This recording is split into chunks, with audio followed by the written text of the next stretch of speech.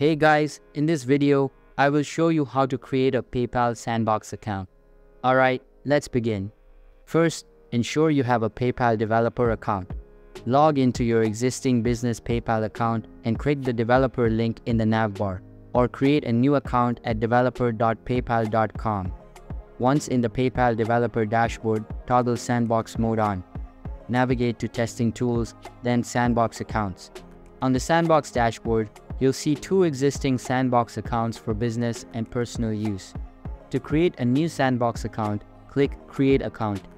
For a more customized account, click the Create link to add a custom email, password, and other configurations. Select the account type and country, then create the account. Click on the newly created account to view its details, including login information, Sandbox API credentials, and general account settings. To test your Sandbox account, go to sandbox.paypal.com and log in using your Sandbox account information. This is your testing playground to confirm transactions and ensure everything works as expected.